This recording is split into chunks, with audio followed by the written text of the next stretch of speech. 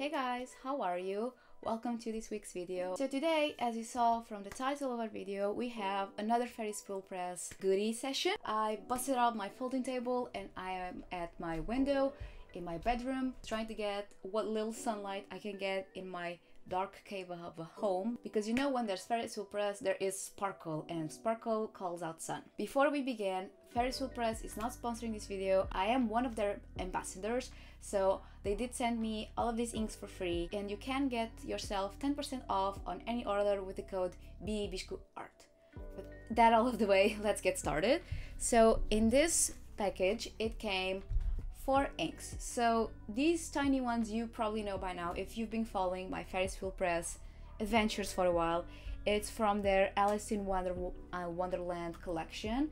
So it's Queen and Castle, but we're going to leave that for last because I find these very exciting. So I'm going to leave that for last, just let just let the good things to last. So these three inks are in celebration of the 10th anniversary of Paper Tree is a paper shop like origami shop so that the that's why it has like little kanjis they do tend to make these collaborations with uh, japanese inspired or japanese stationery so we sometimes get little kanjis i'm very excited for this so i'm going to go um, yeah let's just start with the pink that we have here why not so the pink one is called Chidori cherry blossom and it is a sparkle ink, of course. Yeah, the box is super stunning with lots of cherry blossoms, little duckies. Have a little one of those little things you can ride on a lake. It's a super stunning box and a swan. Oh, it's like a moose is riding the swan. I, I like I just like enjoying their boxes. Just really love it. Okay, so this ink, looking at little spiel that they have, it's a rose gold shimmer and is characteristic, characteristic character, characters. And apparently the keywords that are go with this ink is inspiring, scintillating, rosy, and joyous. I am extremely excited to see how it looks. Let me just get it out it's super pretty. Ooh, okay. Oh gosh. It's extremely sparkly. I just see more rose gold and ink. This to me is just a bottle of rose gold glitter. That's very pretty. I'll insert some clips on close up on my phone because I, I don't know, my camera is not the best. so my phone tends to pick up these glitters way better and more efficiently. Damn, that's pretty. That is gorgeous. I cannot wait to swatch these. So next up we have Dearest Navy. I assume this has to do with writing letters to your dearest ones. We have lots of letter seals and letters and just it seems like a very nostalgic type of ink. Let me see the spiel. Are you sparkly? This one is not sparkly, does not have the little star over here. Okay, so I found the little spiel I usually read out. I will read out the other one for the Chidori in a second. But for this one, it was mostly inspired, the design was mostly inspired in hand illustrated stamps inspired by vintage stamps for important years in paper tree history, including the shop opening and the founding of their company, and also the founder's love for culture of handwriting notes with calligraphy inspired by personal theme. If I was correct, it's the inspired by like handwritten notes, and yeah, the box is super pretty as well as always i just i take my time unboxing these because i just like seeing how they look the box is box is part of the experience with Ferris Press definitely so let's take a look i believe this is like oh oh we have a spiel oh uh-oh i have a problem i thought this was part of the design uh oh, I hadn't opened these yet, so I didn't know this happened. Oops. Okay, doesn't seem like it was a lot. Okay, we had a little accident, but honestly the box looks pretty. So yeah, you can see a little bit of a preview of what the box is going to be. The ink. Yeah, I, just, just a little bit on the side. I think it's just a little mild spillage. They usually arrive fine. And that's not the worst spillage I've had with packaging, believe it or not. So yeah, seems like a very nice and cozy blue. I quite enjoy colors like this. So I'm gonna put it right here. Try not spill it. The keywords for this one are mature, rich, deep, and nostalgic, which I think the whole collection kinda is kinda hinting on the nostalgic. I think that's a mood that we're seeing here. We have a glimmering grayish. Grayish. Is it like a combination of bra- uh, beige and gray? I don't know, but we have a very very dapper and smart looking tiger with the little half moon glasses. No, not half moon, they just look like normal glasses, but he's giving Dumbledore vibes. We have a little very shimmering cat over there. Oh, tons of inks on this little display case right here. Oh, we have more kitties. We have a cat here balancing an ink on its little nose. Another kitty. And yeah, a little storefront very pretty. And this one is indeed a sparkling ink. You can see right here. Interesting name. Grayish is a word that i've never heard before. Fired by the very walls of paper tree shop and its signature grayish. Let the airplane please pass. So yeah it's the interior grayish of the shop. So maybe it is a gray and a beige. Magnificent tiger is here to help you make the perfect stationery selection representing the owner who was born in the year the tiger an adorable owl perches on the corner of a mulberry leaf clutched in its beak. Oh, where is the, the owl? Oh, I thought this was a little cat with the... I This is the owl. I thought it was a cat with like a scarf on its neck. Which...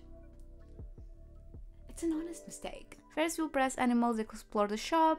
The mischievous Patch the cat lounges across the shop shelves and the adorable Canadian Marten proudly carries the purchase of a brush fountain pen and that Mr. Black Bear is working on the stock room. Oh, Mr. Oh, yeah, we have a little black bear. I didn't see him. We have a little black bear here in the background. Yeah, I, I re- oh, and here is the kitty with a brush fountain pen. Oh my gosh. That's why I enjoy reading these. I hadn't noticed this guy it wasn't shiny so I wasn't noticing him. So the keywords for this one are airy, warm and modern. This is a warm gray with gold shimmer. I don't know how I'm going to use warm grays, but there was there was this ink that was April Shower that was a gray that I was just like, how am I gonna use you? And it's actually one of my favorites. Oh, okay, here's the gold. the gold was all on the other side. Here it is. It's fading now because I'm moving the ink and this is very fine glitter, but you can definitely see the glitter going around. Again, I'll show you close-ups. Okay, now finally for the little tiny jar from the Alice in Wonderland collection, we have Queen and Castle. Again, the packaging is very mirror-like. It's just, my camera never knows quite how to film it. Yeah, but you can definitely see what I think it's like Humpty Dumpty-ish. I I'm a bit rusty on my Alice in Wonderland. I don't know if Humpty Dumpty was there. Little door. And the queen. The queen is right there. If I can show you her. I think you can see the queen. So this one is a yellow green, does not have a sheen, shimmer is rose gold, and shading high. The first edition with the three uh, colors, which was red, yellow, no, red, blue, and green, were, were high sheen but no shading, and everything else from that has been with high shading and no sheen. So this one is quite interesting. A yellow green, we'll see. You know my feelings with green, but yellow green, I'm open to it. You can also, this is something I haven't been able to try yet, but on the Ferris Wheel Press site, you do you are able to experience like some of these illustrations in VR. I don't have a VR set, so I haven't been able to do it. But that's definitely something if you want to check it out. Something I would like to do if I had a VR set. Okay, this one is in there. At least I know it's safe. Eh, I wanted to come out. Come out. I want to see you. I want to see how you are. I've been trying my best not to look at swatches online of how the inks are. Okay, here we go. Ooh, hello. What was the rose gold as well? Okay, so we have rose gold shimmer and warm gold shimmer. I'm curious to see how the yellow green translates. But yeah, these are the tiny jars that come with the FerriTales collection and they are just the most adorable cute little thing. I love these little jars. They are just the cutest. I cannot deal with them. Like I have small hands and they fit on the palm of my hand. It's just so cute. I cannot wait. Ooh, here it is all the glitter. So nice. Here's kind of our little collection so far. I am going to do some close-ups so you guys can see the glitter. Then we are going to go for one of my favorite parts, which is swatching all of these. So I'll see you in a second.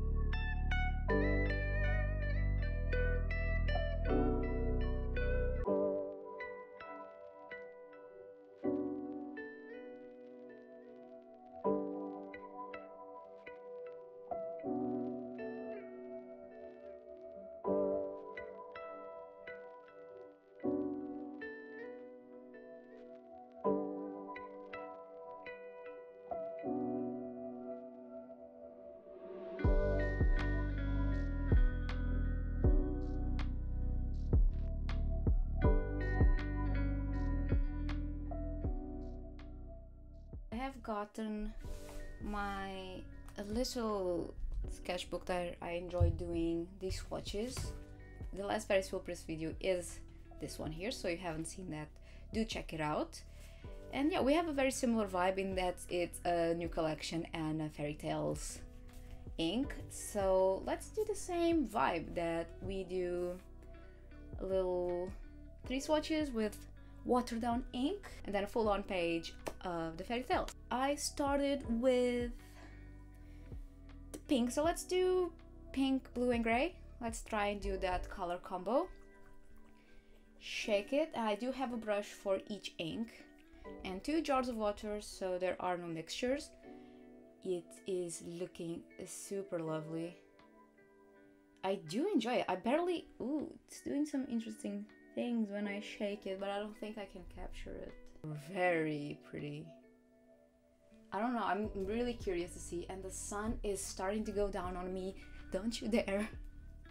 Uh, I, I love winter, but that's the issue of needing to film in winter because it just goes away. Let's see. Ooh, okay. It's very soft, extremely soft. I'm not complaining, mind you. Oh, I need to go get something for my second camera to rest on. Give me a second. There we go. You can see the tripod leg, but please don't mind that. Okay, so the color so far is a very soft pink and the glitter is, is very subtle so far. I don't know if it's because it's a rose gold, so on rose it's more subtle, but I have learned that... Oh, the brush is looking fine though. I have learned that with Ferris wheel press, the glitter sometimes only shines more when it's dry. And I want to show you how the pretty the brush is. Aha! The glitter. So it definitely has potential. So I'm going to do a wet stripe. The color is very pretty on the wet. Yeah, it's definitely on the softer side. Which I do enjoy and I think will make for a very nice illustration. Which mind you, I have no idea what's going to be. Some collections I have an idea straight away. This one, not yet. To be honest, this is actually the first time I'm looking at them. I try my best not to look at them before I start swatching them. So let's do the blue. The blue no doesn't really need to shake, but I've I've gotten used to shaking them because of so many shimmers lately. I'm quite excited for the blue to be honest. Ooh. Okay, I actually like that a lot. Oh, wait, wait, I should be doing just a pure one and then watered down. I'm just curious to see how this one is watered down. I like that quite a lot actually. It seems quite dark. Uh, I like these tones. They sometimes make these type of tones. And yeah, I do enjoy the more moody blues. Ooh, okay. Ooh, okay, never mind, that's pretty. Uh, very pretty. I do enjoy this blue a lot. And yeah, let's see what this grayish is all about. This one do need to shake. Okay. Hmm. Interesting. The glitter is definitely there. Doesn't really alter the... Okay, with a pack it, it does alter the color a tiny bit. Okay, I'm interested. Curious even. okay, so let me do... We have space, so let's do a big one over here at the bottom. Do just a gigantic rectangle. This could be helpful i think. Yeah this could be a useful useful ink. Definitely. Ooh, actually i don't know i'm thinking like doing a sort of monotone illustration with this one might be quite pretty because i think especially if you're going for like stormy i don't know stormy moody type of vibes that's the vibe that i'm getting and i'm enjoying it let me drop a little do do do do here there so we have our paper tree collection so far. So far, a very nice, not my most striking collection ever. They definitely have some that really strike me. This one is just a very soft. The other one was very moody. The last one, the Finer Things collection, was just very moody. This one just screams soft, even though the navy is quite dark. Um, when it's watered down, it's doing stunning things over here. So yeah, definitely, definitely an interesting collection, but I will judge it more once it's dry. So let's see. And now let's go go for our little Queen Castle, Queen at Castle, Queen and Castle, not at. So we're going to do the same. I'm going to do a small, oh, it's tightly there. I'm going to do a small stripe and then go all out with water. Oh, ooh. Okay. Okay. You know what? okay, this is my favorite. Uh, just because this is the type of green that I usually mix when working with watercolors. So this one instantly has me because it's the color that I tend to use most of the times when I use green. I usually call it like a dry green because that's what we say in Portuguese, like verde seco. But oof, I like you. I don't usually go for this type of stuff, but yeah, this definitely wins the cake for me because it's my my green of choice actually. I think this I can I can finally show you what my favorite type of green is. because yeah, I definitely don't enjoy like emerald greens or stuff like that. So this type of green I dig. I don't know why. I just I like greens that have more yellow rather than blue in them. And this one definitely definitely has that. I quite enjoy it. It's uh, very pretty. Super pretty. Not what I would expect when Queen and Castle not sure what I was expecting at all, to be honest. But I like it. I like it a lot. Actually, I think it's my favorite from the four inks that we got today, actually. Which might surprise you. I And it's also surprising me as well. Ooh, yes, I like this one a lot. A lot, a lot, actually. Ooh. Look at that. Oh, okay. A very, very nice. I like this. Let's take a little closer look. The navy is doing some stunning things over there. I love this little edge here. Super pretty. warm gray, like the grayish. Again, the shimmer is there, but once again, they are more powerful when they are dry. And the Chidori is, it's nice and soft. It is a very pretty color. But I don't know why I love this one. it's so pretty. So this is very wet. I'm going to let it dry and we're just going to take a final look. And yeah, that'll be it. It's dry, but I had a little accident while drying it. I was impatient, I used my heat gun. And yeah, the green color over. I don't know if it's because it's not very sunny, but so far the glitter is very, very subtle, especially on the pink. I'll try my best to film it and show it afterwards. The one on the grayish is a bit more noticeable. If I can show you, here it is.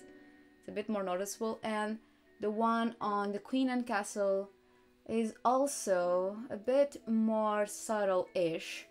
I don't know if it's just because it's not really sunny at my house. This is it for our little swatching session for this collection of the paper tree and our, which I believe is like our seventh or almost eighth already, I have to check. Editing Bia will post it right here, the number of this ink for the FerriTales collection already. They've been coming up with them left and right. Honestly, it's been a journey and I think I kind of want to do a painting with all of them when they eventually decide they're done. Thoughts, this collection so far, quite nice to be honest. It It's very soft and I can definitely see very very nice ways to use these inks. Together they look very nice and soft and nostalgic.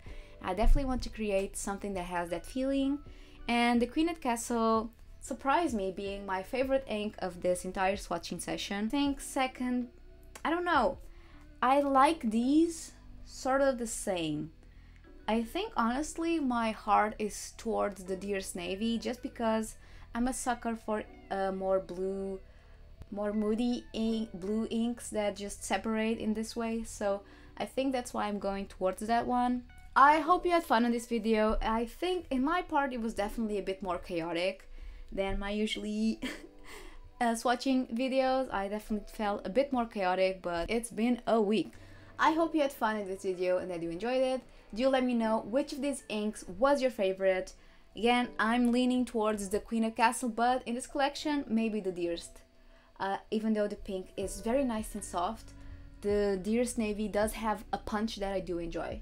Don't forget that you can use my code BIAHIBISCUART to save up 10% off your next Wheel Press order. Leave a like, subscribe, all that good stuff. Don't forget to let me know in the comments which of these is your favorite ink. Again, thank you so much for watching, you are the best, and I'll see you in my next video. Bye guys!